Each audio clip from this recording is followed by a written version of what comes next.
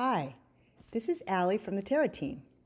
In this video, I'll show how to run a Jupyter notebook on Terra. Open a workspace where you are an owner or writer with CAN compute permission. You can click on the Analyses tab to see the list of notebooks in the workspace.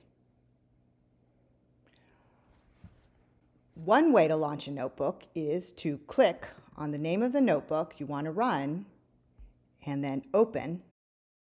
If you haven't run a notebook in the workspace before, this will open a settings page for your Jupyter Cloud environment, the virtual machine that runs a notebook analysis. You can click Create to select the default cloud environment, or Customize at the bottom to specify the software, compute profile, and persistent disk type.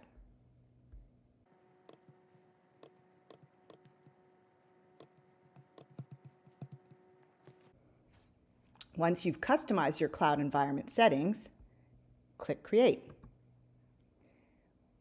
After you hit the Create button, it can take three to five minutes before your cloud environment VM is running.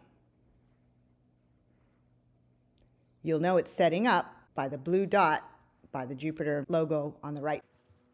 You'll know your cloud environment is ready when you see the green dot on the right sidebar. You can click Open to start working in the notebook. Another way to set up and launch, modify, or pause the cloud environment at any time is to click on the cloud environment in the right sidebar and then the environment settings. You'll get the same form. To see the status of your cloud environments in one place, go to the main navigation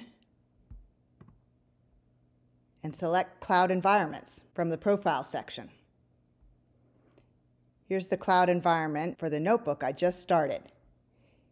It's always a good idea to pause a cloud environment when you're not running the notebook to save money. Thanks for watching. Hope you enjoy your analysis in the cloud on Terra.